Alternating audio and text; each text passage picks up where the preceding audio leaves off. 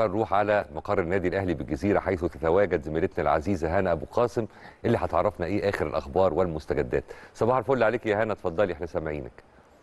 شتت هنا آه طبعا ده لازم. يا صباح الخير عليكم وعلى كل مشاهدي قناة الأهلي في كل مكان يوم جديد. و10 الصبح في الأهلي وزي ما عودناكم دايما هنقل لكم كل الأخبار؟ المتعلقة بالنادي الأهلي وفرقه الرياضية المختلفة. لكن في البداية خلونا نبارك طبعا لمنتخبنا الوطني بعد فوزهم أمس على سيراليون بنتيجة 2-0 شفناهم عملوا مباراة كبيرة جدا ويمكن طبعا قبلها كانوا فازوا أيضا على منتخب جيبوتي بنتيجة 6-0 عشان بقى يتصدروا المجموعة. وهو ده منتخبنا الوطني وهو ده الأداء اللي بيليق بيه. أكيد بنتمنى لهم طبعا كل التوفيق فيما هو قادم. كمان في خبر يمكن أنتوا ذكرتوه عن ناشئات آه، الكرة النسائية بعد فوزهم 6-0 على منتخب الكونغو وده طبعا بيبين إن الحقيقة في تقدم كبير جدا في الكرة النسائية في مصر سواء على صعيد المنتخبات أو على صعيد الأندية. وأكيد ده خبر سعيد جدا لكل جماهير الكرة المصرية وبنتمنى لهم مزيد من التفوق. نروح بقى لأخبار النادي الأهلي والبداية مع الفريق الأول لكرة القدم. النهارده الفريق هيواصل تدريباته. التدريب هيكون الساعة 5 مساء عشان طبعا بقى يواصلوا استعداداتهم للمباراة القادمة واللي هتكون أمام فريق مدياما الغاني يوم السبت القادم. المباراه هتكون الساعة 9 مساء على استاد السلام ضمن منافسات بطولة دوري أبطال إفريقيا. يعني طبعا بنتمنى لفريقنا كل التوفيق. امبارح كان الفريق استأنف تدريباته بعد راحة سلبية وكان عندهم طبعا مران على ملعب مختار التتش وكمان هيستمروا طبعا في التدريبات. كل ده زي ما قلت ضمن الاستعداد للمباراة القادمة اللي طبعا بنتمنى لهم كل التوفيق فيها. نروح بقى للألعاب الأخرى والحقيقة إنه في مباراة مهمة جدا النهارده لسيدات كرة السلة بالنادي الأهلي ومباراة السوبر المصري اللي هتكون أمام فريق آه، الجزيرة. مباراة هتكون الساعة 6 مساء على صالة دكتور حسن مصطفى. طبعا بنتمنى لهم كل التوفيق. خلوني بقى أنوه لجميع مشاهدين قناة الأهلي إنه هيتم نقل المباراة مباشرة وهيكون في كمان استوديو تحليلي عشان بقى تدخلوا في أجواء المباراة. أتمنى كل التوفيق لسيدات كرة السلة. كمان خلوني أقول لكم إنه كابتن محمود الخطيب رئيس النادي الأهلي كان اجتمع أمس بسيدات كرة السلة يمكن طبعا بعد إخفاقهم في بطولة دوري المرتبط عشان بقى يقول لهم إن هم لازم يركزوا بشكل قوي جدا والنادي الأهلي دايما بيلعب على جميع البطولات فطبعا بنتمنى لهم كل التوفيق.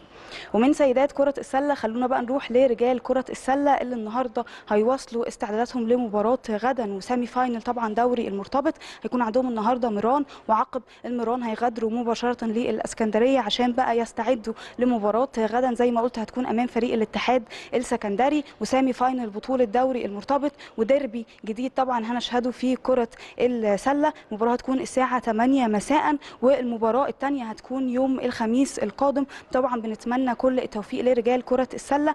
يعني في ربع النهائي طبعا كانوا واجهوا الزمالك والحقيقة إنهم فازوا عليهم في جميع المباريات سواء مباراتين فريق المرتبط أو مباراتين فريق الكبار إن شاء الله بقى نشوفهم كمان بيتألقوا أمام فريق الاتحاد السكندري. طبعا مقدرين مباراه مش هتكون سهلة. أكيد الاتحاد خصم قوي جدا للنادي الأهلي في كرة السلة لكن عندنا طبعا ثقة كبيرة جدا في رجال كرة السلة.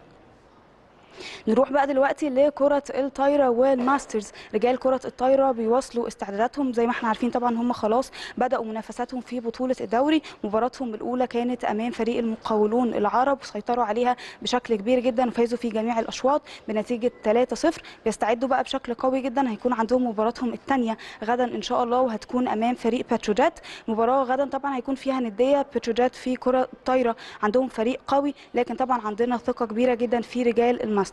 كمان يا كريم ونهاوند خليني أقول لكم إن أنا كنت متواجدة في مباراة المقاولون العرب وكان طبعا لينا بعض اللقاءات مع لاعبي النادي الأهلي اللي أكدوا إن هم مركزين بشكل قوي جدا في الموسم الجديد داخلين بقوة كبيرة جدا يمكن أيضا أخفقوا في الموسم اللي فات.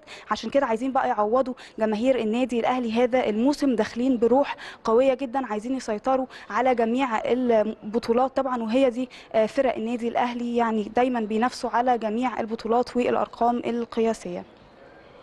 كمان بقى شباب كرة الطايرة 19 سنة أمس كان عندهم مباراة أمام فريق سموحة ضمن منافسات بطولة الجمهورية وقدروا يسيطروا على مجريات المباراة منذ بدايتها وحتى نهايتها. فازوا بنتيجة 3-0 طبعا. بنتمنى لهم بقى أن هم يكملوا بنفس الأداء. أخيرا بقى نروح للعبه كرة اليد ورجال كرة اليد النهارده. هيواصلوا تدريباتهم استعدادا لمباراة غدا اللي هتكون أمام فريق طلائع الجيش ضمن منافسات بطولة الدوري. انه رجال كرة اليد عاملين موسم كبير حتى الآن. آخر مباراة ليهم كانت أمام فريق هليوبلس وانتهت لصالح. رجال كرة اليد بنتيجة 36 28 الحقيقة ان هم فازوا في جميع المباريات حتى الآن في بطولة الدوري. إن شاء الله بقى يكملوا بنفس الأداء. أما عن سيدات كرة اليد فطبعا عندهم بقى فترة من التوقف الدولي بسبب معسكر منتخبنا الوطني واللي طبعا هيشارك فيه عدد من لاعبات النادي الأهلي. فترة التوقف هتكون حوالي شهر هيعودوا مرة أخرى للمباريات يوم 22 ديسمبر عشان بقى يواجهوا فريق سموحة. لأن هم قبل فترة التوقف فازوا في جميع المباريات يعني يمكن آخر مباراة ليهم كانت أمام فريق البنك الأهلي وانتهت لصالح سيدات كرة اليد بنتيجة 45 24 عشان بقى قبل فترة التوقف طبعا بيكون مهم أنت تبقى خاتم بنتائج كبيرة هو ده فعلا عملوه سيدات كرة اليد هم متصدرين طبعا جدول الترتيب.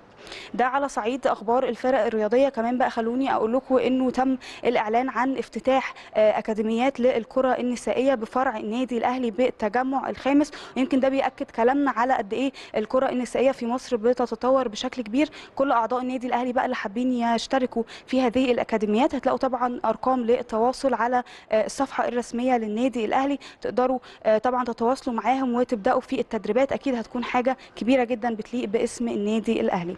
يعني ده على صعيد الأخبار المختلفة سواء الاجتماعية أو الفرق الرياضية. كمان بقى زي ما عودناكم خلوني أنقل لكم كل الأجواء من داخل مقر النادي الأهلي بالجزيرة. الأعضاء متواجدين في النادي. يمكن في طبعا انخفاض ملحوظ وكبير جدا في درجات الحرارة. يعني امبارح الحقيقة فصل الشتاء فاجئنا كلنا. درجة الحرارة دلوقتي 20 وزي ما قلت الأعضاء متواجدين في النادي وفي سيولة مرورية جيدة. يعني يا كريم وأنا هوند دي كانت أبرز أخبارنا. طبعا معاكم لو عندكم أي استفسارات. والآن العودة ليكم مرة أخرى في الاستوديو. مفيش أي استفسارات. في كل الشكر ليكي زميلتنا العزيزة هنا ابو القاسم على هذه التغطية. نورتينا ودولاب البطولات في الخلفية كان منور كالعادة.